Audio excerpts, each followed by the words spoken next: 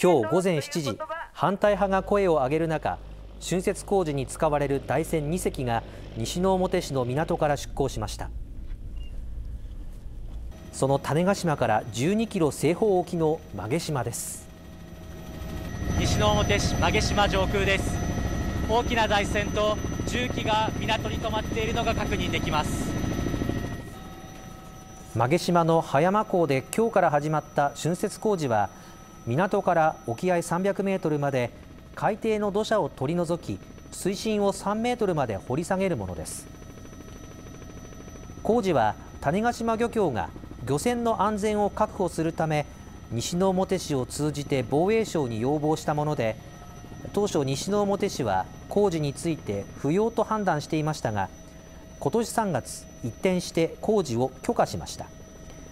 工期はおよそ9ヶ月の予定です。漁業者によりますと葉山港は曲島の周辺で漁をする際に一時的に船を停泊する重要な港で工事によって船が止めやすくなる一方ながらめが取れなくなるのではとの懸念もあるということです。上空から曲島を見ると沖合の工事以外でもさまざまな動きが確認されました。港の台船から資材のようなものが搬入している様子がうかがえます。港の近くには工事に使われるとみられる資材や車両が多く止まっていることが確認できます。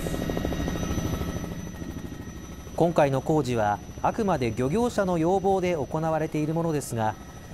工事によって防衛省が基地の建設に向けて資材の搬入がしやすくなるとの見方もあり計画反対派は強く反発しています。曲島基地建設の始まりである地域の住民を無視しあるいはその法律を無視したやり方だというふうに考えています。